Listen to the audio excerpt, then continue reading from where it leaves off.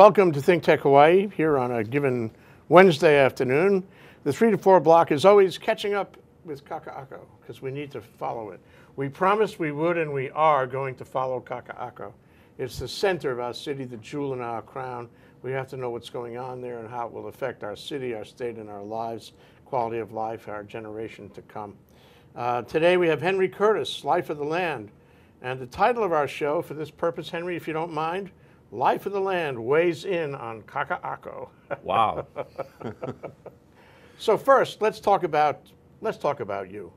What is Okay. what is Life of the Land? You formed that organization. no, I didn't. You, I thought you were the founder. No, oh, no. it's a rumor. Life of the Land was founded in February of 1970 by 15 women. Um, our claim to fame in the 70s was that we were the first real pro bono law firm in the state. We peaked with 14 lawyers and 19 second year law students one summer. Uh, we were the group that, that forced the military to obey the federal environmental law with our suit over the bombing of Kaho'olawe back in 71. I came to the organization in July of 94. So I've been Oh. here 20 years of the 44 and a half years of the organization. Okay, all right. Well, I, that sets me straight on that. It just it just seems I, I know you in that role for so long that Well- it's been in perpetuity. You know? Well, in Hawaii, people see you the first year and they say, Who are you? In the second year, Who are you? In the third year, Who are you? And in the seventh year, you've been here forever. Yeah, well, it's a good thing, actually. but as they say, you know, and this is important to our discussion today, as George Santayana said, he who forgets history is doomed to repeat it. Can you say that again? He who, you agree with me? Yes. Okay. I did a piece about that recently in connection with Gaza, and uh, there's really a lot, a lot to um, learn from George Santayana. Okay. Anyway, so that's life of the land. Life of the land. What, what, uh, you know, beyond uh, the environmental, you know, uh, uh, the environmental initiative that, that it did way back when. What else has the life of the land done? What's it done under your administration? Um, some of the proudest things that were done under my administration is we're the group that got Hawaiian Electric to admit that climate change is real and that fossil fuels are part of the problem and part of the solution. We also worked heavily on getting this. Uh, we don't normally work in the legislative arena. We occasionally are there. We were, were played a major role in getting the Act 230 passed, which requires public disclosure of key members of boards and commissions. Uh, 15 boards and commissions. When Governor Abercrombie came in, he said, transparency is the hallmark of my administration. You're quoting now. Right. He, he fired the head of OIP and he's went into a slightly less transparency. You know, he, he didn't win. No, It's, it's okay. It's all history now. And on Oahu, he got hit harder. He lost by a larger margin than any other island. Isn't that interesting? You would have expected that he would have, you know, been, been hurt on the neighbor islands, but Yeah. not. You know. What do you make of that? Well, let's have a digression for a moment. Well, we don't ever, as an organization, we never take positions on people, whether for administrative posts or political posts.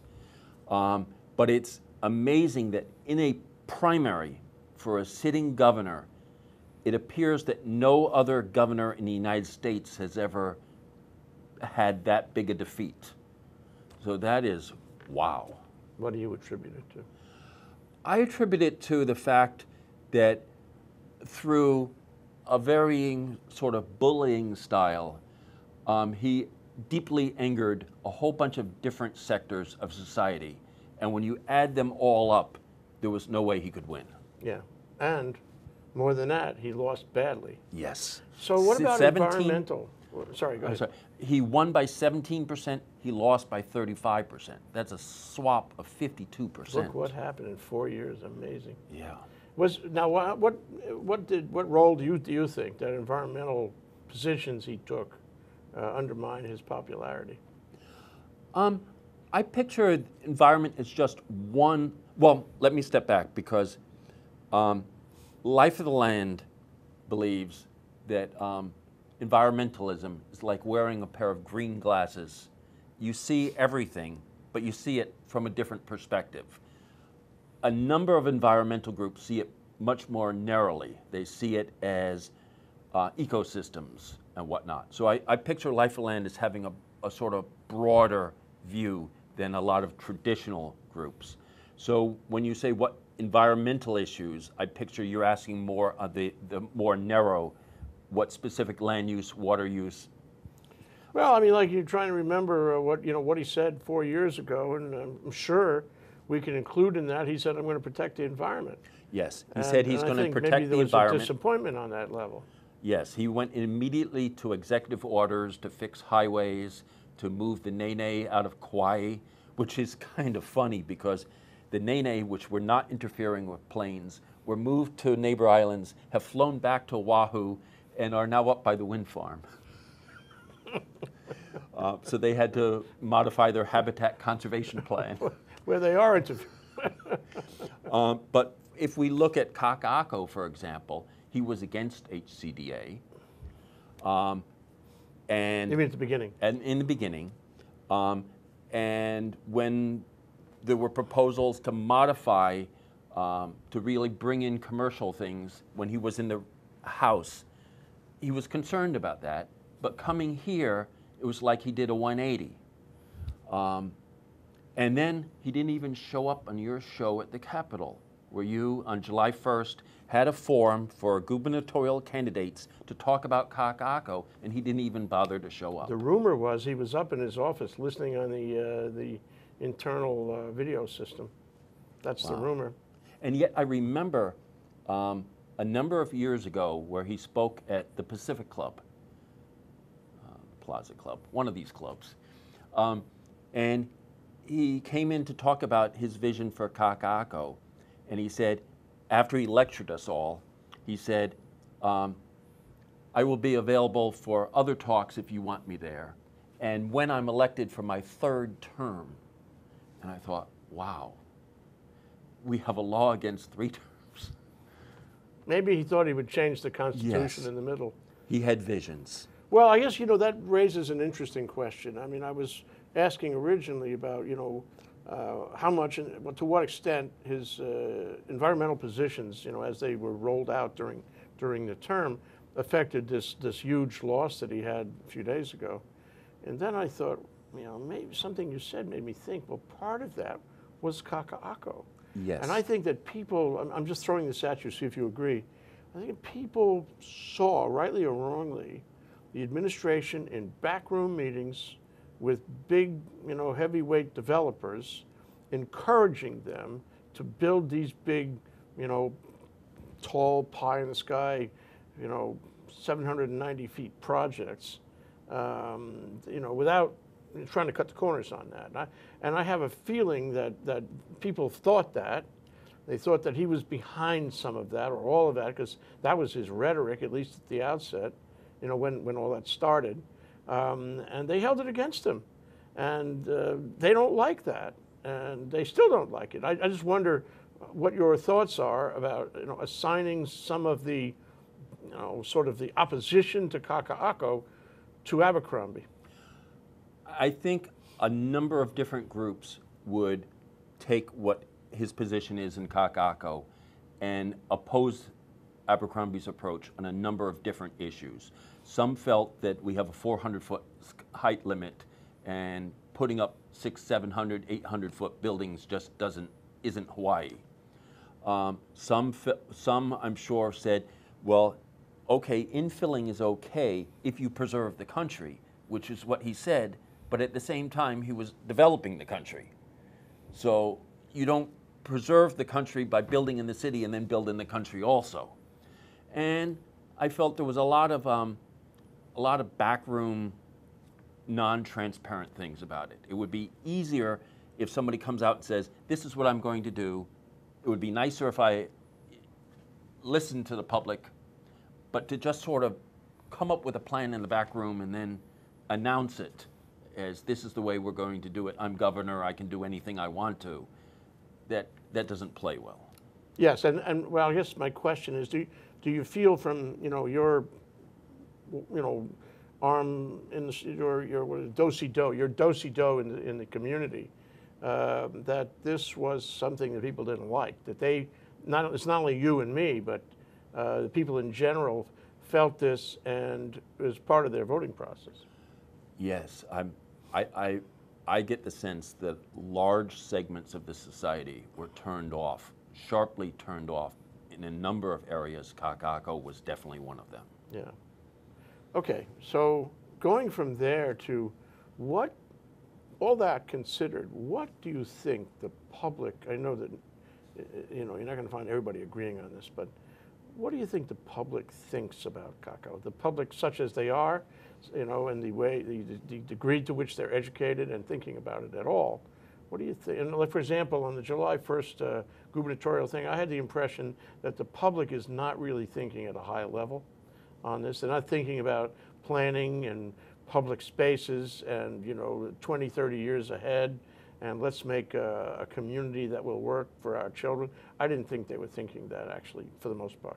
But what do you think the public is thinking about in terms of Kaka'ako? You're right. I think there's um, a real, there are some people who live there, there are some people who work there, there are some people who play there, there are some people who are none of the above, there are some who party there. Um, it was easier say in 2005 when A and B said we're going to build some tall towers and there was the red shirt movement to stop the development on the Makai section. Um, now with many different moving parts with the proposal for the Obama Library, with the proposal for OHA, with the proposal for Kamehameha schools, there's a lot of different moving pieces and while there is still a hardcore resistance, it's more diffuse. Yeah, yeah. So would you, would you, would you say the public is fully informed about this? And if they are not fully informed, what is missing in the mixture? Wow. Take a whack. take, just take a whack at it. Um, not to worry. I, I, I think what's missing is the planning of where we're going. Um, and, and it's the thing if we take a digression to Hawaiian Electric for a moment, the Public Utilities Commission came down on, the P, on HECO in April saying, you have a whole bunch of pieces, we don't see the full picture. And I think that is the same thing in Kaka'ako. There's fear that there's all kinds of high rises coming, but people don't see the big picture of what's there. Okay, that's a good place for a break.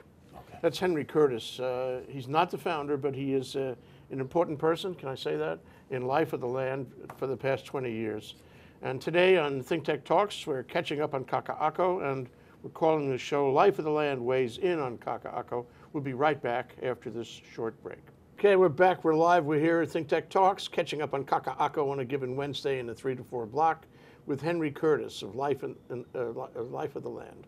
Um, and so uh, I guess the question is, um, what should a proper plan be for Kaka'ako? I know you thought about this, so let's make you governor for a moment, Henry. What should the plan be? What would you uh, advocate? First, um, I would. The, the first picture is we need to diversify our economy. So we need to have areas for agriculture.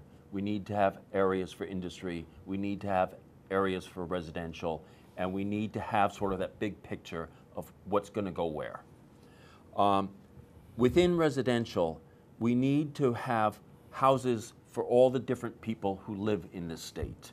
And our first priority should be having the homes for the people who live here. There are, there's a waiting list for DHHL, there's um, a lack of affordable apartments, there's a lack of different types of housing for our residents. So um, that would be the next step. And if developers are madly racing into an area to say, I want my big building, and the next developer says, I want to have my next building, that is a time to say, okay, what can we get from different developers that would maximize what we need? Because clearly, there are plenty of developers out there who want to build something, and, and the focus should be on, on meeting our needs. Okay. So a lot of what you're talking about is a question of degree. How much, where, not here, but maybe there, uh, big, but not that big. Um, so it really requires governmental uh, settlement, um, an establishment of parameters by government. And, Wh- and who sh- government and community, it, Right, well, in a conversation. yes, in a a conversation. conversation. I- And I think that's, you know, let me, let me add a point on that. I- Well, while we were preparing for the gubernatorial forum on Kaka'ako, in fact, while preparing for the, the previous think tech discussion, I think you were there yes. um, on Kaka'ako. We had everybody at the, you know, there must have been 12 speakers, right? Um, you know, I caught this thing by a guy named Kimmelman. Uh, Kimmelman is the New York Times uh, architectural critic, among other things. And he went to Yale and gave a talk on public spaces. And I've always had an interest, I'm sure you have too, in exactly how you organize a city. Because the city is, uh, establishes the quality of life. Uh, even, even if it seems hard, concrete, and all that, still, the way you move in a city, the way you get from place to place, the way you spend your time, it establishes quality of life. And he was talking about a renaissance in this. You know, years ago in ancient Rome, they were thinking about this, and we have really stopped thinking about how the public moves, how the public enjoys the public spaces. Uh, so, in this country and in Europe, this is a big deal now. And that's what he spoke about at Yale. It's, it's on C SPAN if you ever want to find Michael Kimmelman. Um, so I'm thinking that that's, that's where we should be here. We should be evaluating public spaces, the, and to, the, to your point, the public must be involved in the conversation. How can you possibly have a few that designing, you know, public spaces for the public without, without commentary from the public? Uh, this is perhaps our greatest, our greatest collaboration that we can build a city we like. Yes. And no one can say that Honolulu is well designed. Nobody can say that. It is not well designed. And any architect would admit that. Any planner would admit that. And, and for strange reasons over the years, and including during statehood, when we could have built a beautiful city, we didn't. So now here we are, and maybe it's the last clear chance to actually do that. How do you create this conversation? Who do you call on? Which foot do you put out first in order to get this done? It's an important question because if it doesn't happen now, it may be too late for it to happen in time. Yes, wow. I agree with you. I certainly don't want to be the governor for designing this. It does need to involve lots of different players, and it needs to have some kind of design. I, I've been on cities in the mainland where they have very wide sidewalks that encourage the public to come down. It encourages sidewalk cafes. Um, I've been in areas that have canals, that have parks, They have different kinds of public gathering spots that are, that are designed to make a city a city. Um, and I think we do it too haphazardly here, where some have suggested putting parks inside buildings as, as a way of meeting the park space. You mean like Kamehameha schools? I mean, uh, but it's just a guess. Okay. um, so, yeah, how we design it. And part of it is being open to participation. Um, bringing in a good facilitator or good facilitator team is one way of eliciting public comments, as opposed to bringing in a facilitator which herds people into the plan that has already been developed. Um, so it is a ground up approach, it is a democratic approach. Democracy takes a little longer than dictatorial policies, but you get more buy in that way. Um, You know, I, I mean, I, I- is- we- we're going far beyond just Kaka'ako for a moment, but this, it's, um, it's a new world these days. yes. And this conversation actually can and should take place in many contexts, not only Kaka'ako. It's a new, actually, it's a new gloss on government. It's a new gloss on w- the way we rule ourselves, the way we, you know, agree on things, the way we build our structures and regulate our structures, and the way civilization, at least in this country, works and elsewhere. Hmm. So the, the problem I have, and maybe you can help me with this, is if I have a meeting and I say in a, in a newspaper of general circulation or in media of general circulation, If you are interested in, say, Kaka'ako, come on down. Come to this meeting. It's not next week, it's three days, or whatever it is. It's not, it's not an ongoing meeting, it's one day. And express yourself. And if you want to write us letters, write us letters. If you want to make statements, make them so that we can hear them at this meeting. Okay? So we go to the meeting and we have a discussion and we say that, okay, the maximum limit in this area should be 400 feet. Let's assume we agree on that.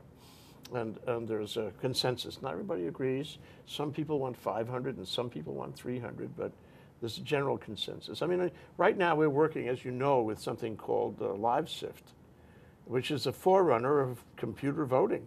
Yes. You know, of network voting. It's not only asking questions, it's answering questions. And, and you can, you know, have a pie chart in, in a matter of seconds to know what people think. And, and I think this, this is more than just Q&A. So suppose at this meeting, we decide it should be 406 feet. Okay? How do we make that stick? With our form of government.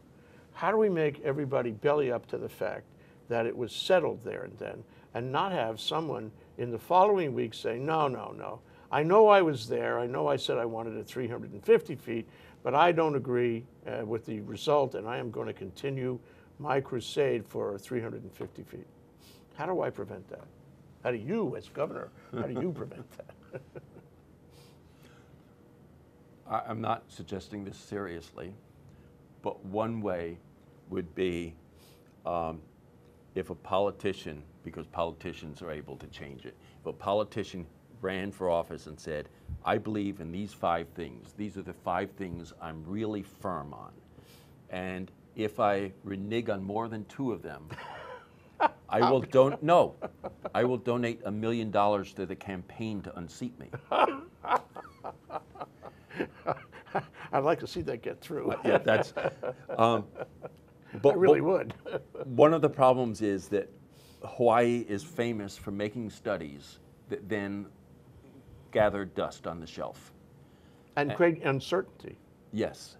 And so a lot of people within the public feel frustrated about turning out when they know that what they have to say is just going to be ignored. And Kaka'ako is sort of the perfect place because it's in an urban setting. A lot of people want to see sort of Kaka'ako designed to be something. Um, there have been a lot of community organizations and a lot of developers and government coming out. Um, but, we're, but it's unclear whether anybody is listening. Yes, and um, how do we how do we do that? I mean, if if, if I'm I'm going to be you for a moment, I'm going to be governor for a moment. So look, I want to I want to hear you guys out, and um, I want you to come forward and help me. I don't want you to just you know uh, snipe at me o- over years and years. I just want you to come join me, make a decision on this issue, and this is what we're going to be talking about on such a night. Uh, and by the way, if you want to get on the internet, you can. And you can ask me questions, you can uh, file your opinions, you can vote in a sort of straw vote kind of way. All right, so this happens. It happens at a time of convenience when everybody who you know, leads a regular life can participate. And we vote for 350 feet or whatever number of foot. Okay, now I say I'm, I'm going to I'm gonna abide by what you say. I'm going to bend every effort because I gave everyone an opportunity and you all came and this is the consensus, if not the majority vote of that crowd. I'm going to push for that. I'm going to try to get all the structures around to agree with that. Um, would this work, do you think? Could this? I, I know that sometimes the legislature would not agree with the consensus model. Right. And they outvoted for reasons that, uh, you know, they think are good. Um, and, and judges aren't bound by it for sure, uh, nor city councils. but but would, would this be worth trying? I certainly hope so. Um, I certainly hope so. I, I hope so. Okay, all right. So now let's talk about what is actually happening in Kaka'ako Okay. And what you know your feeling is about it. Let me sort of paint the picture, and you can repaint it if you like. We have a lot of big buildings going up, fast. Uh, the city is pretty much excluded from participation in a lot of the design elements. HCDA is, is running that, and they get a lot of waivers and variances, and, and they have a board which may not be professional planners issuing those waivers and variances, and people don't like that much. We have a lot of concerns by the community that are not being answered. Um, we have, um, we have um, um, situations where you don't, where you're not sure that concerns are being met. For example, the schools, the parks, the infrastructure, uh, and there's nobody out there to actually respond to that. No action is, is being taken, I don't think, about some things. And the legislature of the state of Hawaii may not be in a position to correct them by the time the legislature is seated. Um, and so, you know, what, what, what's wrong? Is that, is that what's happening? Is there more happening? Uh, what can we do about it? Oh, and the big thing is, this is my big capper thing, is that there's a lot of people, young millennial people, who see Kaka'ako as a place for them to gather and make their lives.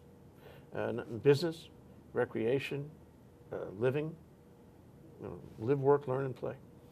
Um, and that may not come true because at the end of the day, the neighborhood's going to be dominated by structures that don't permit that, arguably. Um, what, what can we, so tell me your view of these issues and tell me your view of what can should be done. Once the state or the county designates an area for urban development, it seems to me there are two types of landowners. One type of landowner wants to build something that is totally allowed within that area. And there is, they have the right to do that. The second type of developer wants a variance or a series of variances to do things that are different. Go above the height limit, add to the density, encroach on the sidewalk, whatever. You take all of the people who want the variances within that area, and you have them each submit a plan to a neutral board that is not that doesn't have developers on it, and then they get to look at them and look at um, against a set of criteria: affordable housing, uh, public space, uh, wide sidewalks, whatever. They look at it against a set of criteria, and get to pick sort of the developers up to a certain point that, that offer the best of the public interest, which pits the developers against each other and forces developers to say, well, I'm going to provide more affordable housing or I'm going to supply wider sidewalks than are required in order to get this other variance. And that way, you would both be supporting development and supporting housing and supporting the labor market and supporting construction and supporting developers, but at the same time providing a key, key services in the public interest. And the losers would be the developers who want all kinds of variances but don't want to give anything back. Right. So that would hold their feet to the fire. Yes. That's Henry Curtis, uh, Life of the Land here on Think Tech Talks, catching up on Kaka'ako. Uh, Life of the Land weighs in on Kaka'ako. We'll be right back after this short break. Okay, we're live. We're at Think Tech Talks. We're catching up on Kaka'ako here on Wednesday with Henry Curtis of Life of the Land. And Life of the Land is weighing in with some thoughts on Kaka'ako. You know, one thing is, I think it's fair to say that the state of Hawaii, among or the county of Oahu anyway, of Honolulu, has has uh, failed to do is uh, is build adequate housing for the people. Uh, you mentioned that, and I think, I think everybody agrees. You could ask anyone this question, and they will all agree that we don't have adequate housing. Uh, now, you know, you could you could make an extended argument of that and say, well, uh, we have to build every kind of housing of every kind, including you know, fifty million dollar condo penthouses. But that's not really the answer. It's the, it's housing for the people, as you mentioned.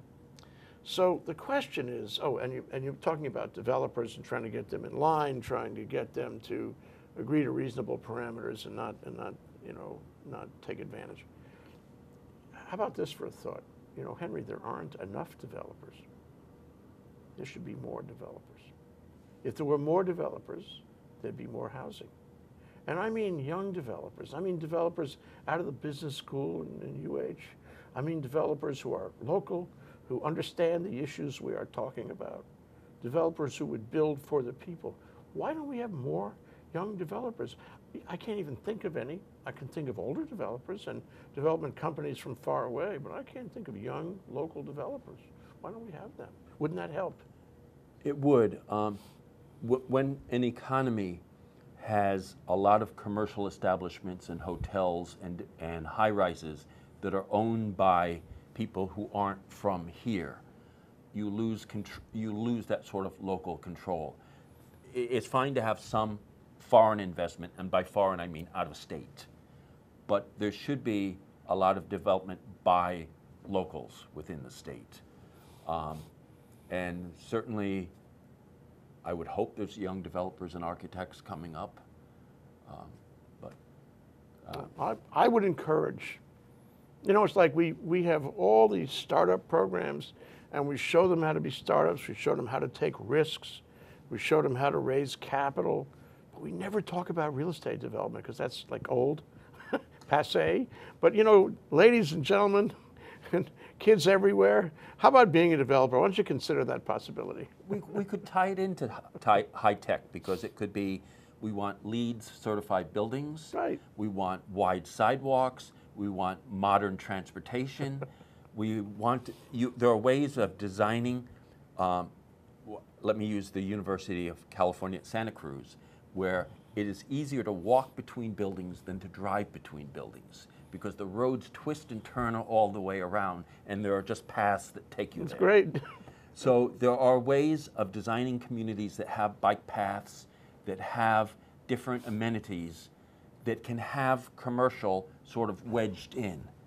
Um, uh, I've often thought that that we, we have a bike path, for example, on the North Shore in in Waialua, Haleiwa. We have one along Pearl Harbor. Why not a bike path that connects Pearl Harbor to the North Shore? Why not have a bike path that connects Aloha Tower with, with Waikiki? If I you mean, have can that lay of, of parklands that was originally visioned, that would go all the way from Waikiki down to Aloha Tower, you have that sort of lay of parklands. You could have paths for both pedestrians and different paths for bicyclists along that, and you'd be opening up the shoreline to the public. And That- what would this cost Blupkis? Not This if you cheap. Blupkis is cheap. Okay. yeah. And developers could be given areas to develop within zones and to support sort of the public use of the shorelines. Got to get this going, Henry. So uh, let's uh, let's talk about uh, what happens if there is no conversation. Um, let's talk about what happens if if we leave, which is you know actually the greater possibility here. I'm sorry to say, if we leave things in you know in the current status quo and it just moves on. What what's your expectation of how the social process, the legal process, the development process will work in Kaka'ako? I am by nature an optimist. By nature, I believe things will get better. Um, I think the work that we do in the public sector would be really hard to do if you were a pessimist. Because if you surround yourself with people who believe that there are positive solutions down the road, you're far more open, you get far more things on the table. Um, so I'm optimistic. And I believe that our next governor uh, may be more of a conciliatory person than um, sort of the brash, I know the way to go. Well, I guess so. What can an organization? I mean, there are other organizations we can and should talk about too. But what can an organization like Life of the Land do? You know, uh, have you taken any affirmative positions in public? Have you advocated for anything particular in Kaka'ako? Um, and, and what could you do if you, you know, were going to make an attempt at that going forward? What, what would you say?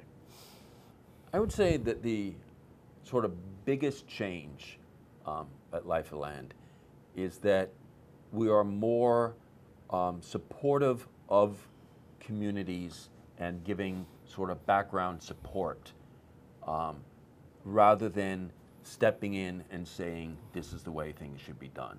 So whether it's land use, whether it's water use, whether it's energy policy, we want to see how the community feels about it and to support the community. So we're not the lead group in Kaka'ako, we're a support group. Okay, I mean, you, you, does that let you establish policy? I mean, wouldn't it be better, Henry, if you got up and said, look, let me, let me show you our connection, our, our analysis. Here's the chart, here's the graph, here's our conclusions. Here's some, you know, comparable organizations on the mainland had similar problems. Why don't you consider these things? We, we want to suggest to you something you could be thinking instead of just waiting for them to tell you.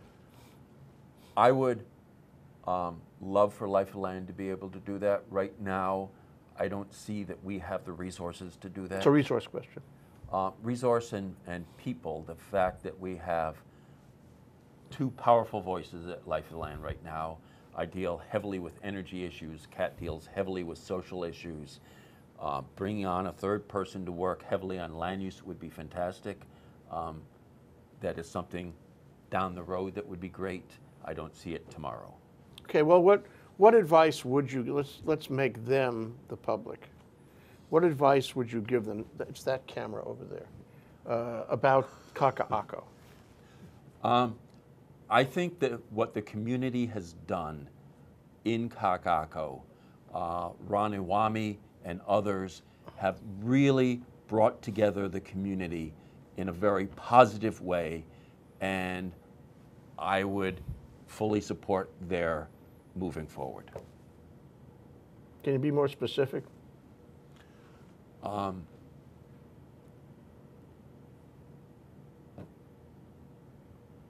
I suppose. We didn't rehearse this, but I really enjoy the way it's going. And I like the guy behind the camera back there who I can just see against the screen as sort of an image of a person who might be from Kaka'ako. It's just a cutout against the screen, that's all. Well, I see the knees bouncing. We do have a studio audience. Um, I, I see that the that there are already organizations and entities in Kaka'ako who have come up with visions, and I think they need to be at the table with the policymakers and with the developers. Um, I, I, but the, the most important thing is that when you come up with a plan, when all the people around the table are coming up with a plan, there's some assurance that that plan will actually be implemented. Um, it was in 2006, what was the act? Um, three Oh, the one- one that zoned uh, Makai? Right, Act Yeah, that was- 317. I call it the Calvin Say Act myself. Okay. Calvin Say was there. Linda Lingle agreed to allow it to become law without her signature. Mm-hmm. Uh, a lot of people were involved in it. Um, it sort of set the policy of where we were going in 2006. And then OHA, I think, got screwed on the settlement. They settled for way too little and they settled for the wrong area. There could have been a far better package given that would not have altered the 2006 agreement. Would you alter the Calvin Say Act now? Um, I think it was good when it passed. I would not alter it, but I would give OHA a different piece of land and different set of money. Let me throw a theory at you, Henry. See what you think. o, um, OHA knew the deal when they made that arrangement with Governor Abercrombie. They knew that it was, you know, going to be hard to build there. They knew about the Calvin Say Act, 2006. You're right. Um, they they knew that it was going to be a big problem, and it wasn't worth as much as what they were giving up for it. They knew Right. that. Uh, they, you know, presumably for that kind of money, you would have somebody study it and advise you. Uh, and I think probably it's fair to assume that in those discussions, there was a little something which said, "Don't worry, boys, we'll make this happen for you later." That is definitely the sense within the community that that not only was the deal that way with the governor, but it was also a way of saying to developers, don't worry about this agreement. You'll get your high rises because OHA will step in and will put a wedge between the community and government. Um, and so OHA got used and they were willing to settle for less than they should have. Yeah. So it goes to the question of whether Makai is different from Mauka. I think it is. Why? Is, is Makai uh, a sanctuary? Is Makai unbuildable? Was Calvin Say right? Is he still right today? Let me preface what I'm going to say with two statements. One, I think was more than Calvin say. I think there were. I agree a with that. number, Uh, but just a reference. But we can use that as a reference. Second, I need to be careful because um, Life of the Land has a position on it that is not necessarily my position, and I'm associated with Life of the Land. Um, and normally we line up perfectly, but on Kaka'ako there's a slight divergence. Um, so I'm going to say how I feel now, and this statement um, is my opinion. I think the 2006 agreement should be binding on the Makai section. Good for you, Henry. I feel the same way if it's of any interest. And I remember so well what happened in 2006. I remember all the factors. And as a matter of fact, this may interest you that, that A and B, when they folded on their three condo tower and uh, Right. there at Point Panic, um, they did it on my radio show. I'll never forget that. Those were the good old days. Yeah. Anyway, Henry, it's wonderful to talk to you. I hope we can come back and do this again um, in other contexts, not- not this issue and other issues. It's nice to have you on the show. It's nice It's to great talk to you. being here. That's Henry Curtis, uh, Life of the Land. We're catching up on Kaka'ako today with him. And um, I guess we can say that both Life of the Land and Henry Curtis weigh in on Kaka'ako. Yes. Thank you, Henry. Thank you, Jay. My name is DJ. I'm growing up with Think Tech.